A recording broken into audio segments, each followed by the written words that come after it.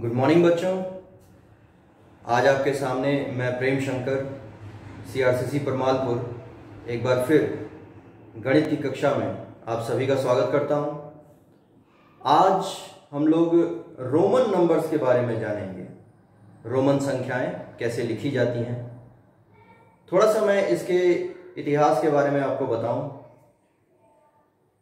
Europe में एक देश है इटली। जिसकी राजधानी है रोम। प्राचीन रोम में एक संख्या प्रणाली विकसित की गई जिसे रोमन संख्याएँ कहते हैं। रोमन संख्याओं रो, रोमन संख्याएँ कुछ चिन्हों पर आधारित हैं। इसमें कुल मिला के सात चिन्ह होते हैं और ये चिन्ह वहाँ प्रचलित लातिनी भाषा के कुछ अक्षरों से बनाई गई हैं। तो चलिए हम देखते हैं कि रोमन प्रणाली में किस तरीके से संख्याएँ लिखी जाती हैं।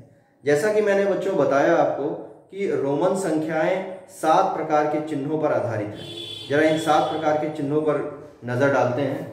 ये सात प्रकार के चिन्ह हैं। ये एक लिखा जाता है इस चिन्ह से। इसके बाद वी आकार का जो ये आप देख रहे हैं, इसका मतलब होता है पाँच। और ये जैसे हम अंग्रेज़ी में एक्स लिखते हैं या गुणे का निशान लगाते हैं, इसका मतलब होता है दस। और उसके बाद कैपिटल एल इसका मतलब होता है पचास। और कैपिटल सी इसका मतलब होता है सौ।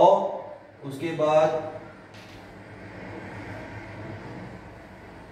डी का मतलब होता है 500 और एम का मतलब होता है 1000 फिर से देखिए, इसका मतलब होता है एक, इसका मतलब होता है पाँच एक्स का मतलब होता है दस एल का मतलब होता है पचास सी का मतलब होता है सौ डी का मतलब होता है पाँच सौ और एम का मतलब होता है एक हज़ार। अब इन्हीं सात चिन्हों से ये पूरा रोमन प्रणाली, रोमन संख्याएँ लिखी जाती हैं। अब आइए, आज हम पहले इसके कुछ नियमों के बारे में जानेंगे और एक से लेके सौ तक की संख्याओं, संख्याएँ कैसे लिखी जाती हैं रोमन भाषाओं में, ये हम देखेंगे। चलिए बच्चों।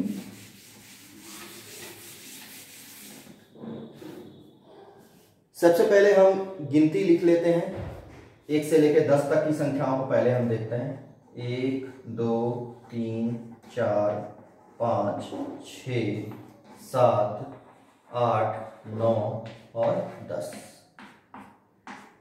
हम दस तक की संख्याओं को कैसे लिखा जाता है रोमन प्रणाली में, ये देखेंगे। इसमें एक रूल मैं बता दूँ आपको। मैंने जितने भी चिन्ह बताए थे, सात चिन्हों के बारे में आपको बताया था। इन, इसमें किसी भी प्रकार के चिन्ह का तीन बार से लगातार ज़्यादा प्रयोग नहीं किया जाता है। तीन बार आप कर सकते हैं लगातार, लेकिन चौथी बार आप नहीं कर सकते। तीन बार से ज़्यादा किसी भी चिन्ह का प्रयोग लगातार नहीं कर सकते। चलिए आते हैं, देखते हैं कैसे इसको लिखते हैं। अगर हमें एक लिखना होगा तो हम एक खड़ी पाई खींच देंगे। एक लिखा गया। अगर दो लिखना होगा तो हम दो खड़ी पाई खींच देंगे। तीन लिखना होगा तो हम तीन खड़ी पाई खींच देंगे। चार लिखना होगा तो हम चार खड़ी पाई खींच देंगे। क्या ये सही है? क्या चार लिखने के लिए हम चार खड़ी पाई खींच सकते हैं? जैसे मैंने बताया था बच्चों, कि हम इस प्रणाली में किसी भी साइन का चार, तीन बार से ज़्यादा हम प्रयोग नहीं कर सकते लगातार। और इसमें खड़ी पाई चार हो गया है, यानी हम इस खड़ी पाई के चिन्ह का लगातार चार बार प्रयोग कर रहे हैं, जो कि गलत है। तो हम इस प्रकार से नहीं लिख सकते हैं चार को। चार को लिखने के लिए हमें पहले पाँच को लिखना होगा। ये हमने वी के आकार का बना दिया इसका मतलब होता है पाँच। अब चार को लिखने के लिए यहाँ पर एक गणित के नियम का प्रयोग किया गया है कि पाँच में से अगर हम एक घटा दें तो वह हो जाता है चार। पाँच में अगर एक जोड़ दें तो वह हो जाता है छ। तो इसी गणित के नियम का प्रयोग किया गया है इसमें। हम चार लिखने के लिए पहले पाँच लिखेंगे और पाँच से पहले यानी पीछे की तरफ़ अगर हमने एक लिख दिया तो इसका मतलब होता है कि पाँच में हमने एक को घटा दिया, चार हो गया। अब इस छह लिखने के लिए इस पाँच में हमने आगे अगर एक लगा दिया तो इसका मतलब होता है पाँच प्लस एक बराबर छ तो ये ध्यान दीजिएगा।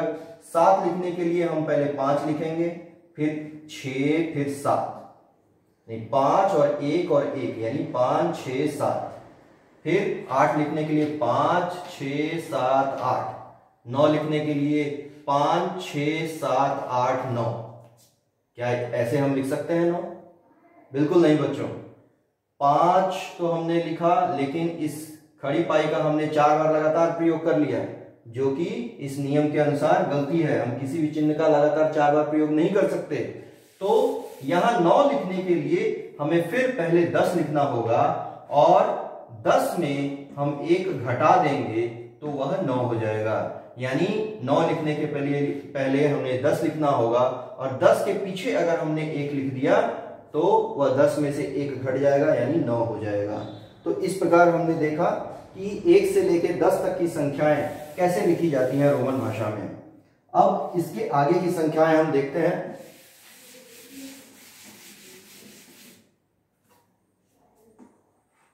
ग्यारह, बारह, तेरह, चौदह, पंद्रह, सोलह, सत्रह, अठारह, उन्नीस और बीस। ग्यारह लिखने के लिए हम पहले दस लिखेंगे, फिर एक। ग्यारह हो गया। बारह लिखने के लिए हम दस लिखेंगे, दो खड़ी पाई। बारह। तेरह लिखने के लिए हम दस लिखेंगे, तीन खड़ी पाई। चौदह सॉरी तेरह। चौदह लिखने के लिए हम दस लिखेंगे और चार खड़ी पाई हम नहीं डाल सकते। आपको पता है कि तीन बार से लगातार हम किसी भी साइन का प्रयोग नहीं कर सकते, इसलिए यह गलत है। और चार कैसे लिखा जाता था? मैंने कैसे चार बताया था? मैंने चार बताया था पाँच लिखकर और उसके पीछे एक डालने के लिए। ये चार हुआ। तो हम चार ऐसे लिखेंगे। यानी दस और ये चार चौदह, पंद्रह लिखने के लिए दस और ये पाँच पंद्रह, सोलह लिखने के लिए दस और ये छ सोलह, फिर उसी प्रकार से सत्रह, उसी प्रकार से अठारह, फिर उन्नीस उन्नीस यानी दस प्लस नौ नौ कैसे लिखा जाता है? ऐसे और बीस लिखने के लिए दस और दस, बीस। इसी प्रकार से बच्चों, हम आगे की भी प्रक्रिया कर सकते हैं। इक्कीस, बाईस, तेईस, अब हम अगर तीस तक पहुँचे तो तीस कैसे लिखेंगे हम? तीन बार एक्स लिख देंगे, ये तीस। उसके बाद इकतीस के लिए फिर हम तीन बार एक्स लिख के वन। इस तरीके से हम आगे पहुँचेंगे। चालीस। हम देखिए, थर्टी नाइन हम कैसे लिखते हैं? तीन बार एक्स तो हम लिख सकते हैं और फिर नौ लिख सकते हैं। यानी दस, बीस, तीस, फिर ये नौ।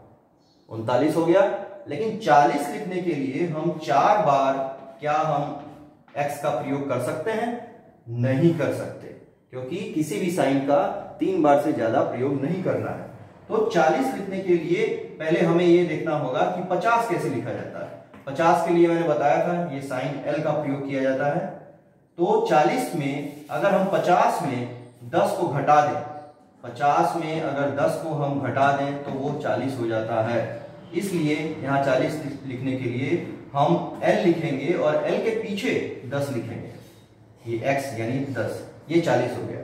अब 41 लिखना हुआ तो हम ये एक जोड़ देंगे इसमें। 41 हो गया। इस प्रकार से हम 50 तक पहुँचेंगे। 50 यानी L और 50 के आगे की संख्याएँ लिखने के लिए फिर हम अगर 51 लिखना हुआ, इक्यावन तो L वन फिफ्टी लिखना हुआ तो L टू इस तरीके से हम आगे बढ़ते जाएँगे। और यहाँ पर आपको कोई समस्या नहीं आएगी बच्चों। समस्या कहाँ आएगी? नब्बे लिखने के लिए। नब्बे लिखने के लिए समस्या आएगी। अब नब्बे हम कैसे लिखेंगे?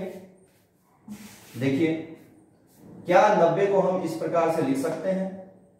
एल यानी पचास, ये दस साठ, ये सत्तर, ये अस्सी, ये नब्बे। क्या हम इस प्रकार से नब्बे को लिख सकते हैं? बिल्कुल नहीं लिख सकते। क्योंकि यहाँ पर एक्स का उपयोग लगातार चार बार हो रहा है तो ये गलत है। अब नब्बे कैसे लिखा जाएगा? नब्बे लिखने के लिए हमें पहले सौ लिखना होगा। सौ देखिए कैसे लिखते हैं? सी इसका प्रयोग सी से हम ये करते हैं, ये सौ हो गया। तो जब हम सौ, नब्बे लिखने के लिए पहले सौ लिखेंगे और उसमें दस घटा देंगे, यानी उसके पहले हम एक्स लिख देंगे, ये हो गया नब्बे। यानी सौ माइनस दस। किसी भी अंक के हम पीछे अगर लगाते हैं तो ये माइनस हो जाता है। इसके आगे लगा देंगे तो प्लस हो जाएगा। ये नियम है रोमन नंबर का। अभी हमने एक से लेके सौ तक रोमन नंबर लिखने की प्रणाली को समझा। आशा करते हैं बच्चों कि इसी प्रणाली से आप आगे भी कोशिश करेंगे और एक हज़ार तक आप लिख पाएँगे। आपका ये होमवर्क रहा। इसी नियम को फॉलो करते हुए आप एक हज़ार तक गिनती लिखने का प्रयास करिए रोमन नंबर्स में। चलिए, हम आशा है कि यह फैक्ट्स आपको अच्छे लगे होंगे। जाते जाते मैं रोमन नंबर्स के बारे में बहुत ही इंटरेस्टिंग फैक्ट बताने जा रहा हूँ, बच्चों।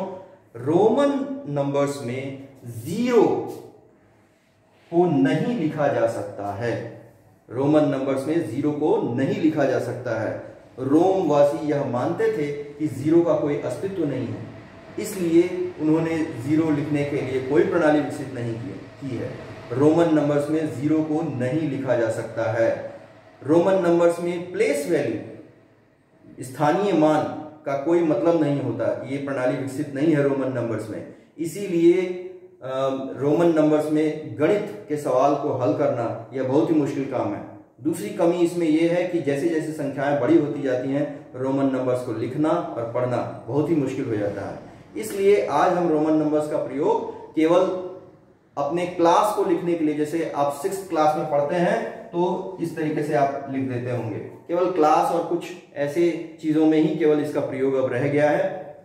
चलिए नेक्स्ट हम ये वीडियो यहीं खत्म करते हैं। नेक्स्ट वीडियो में एक और इंटरेस्टिंग फैक्ट्स लेके आएँगे, बच्चों।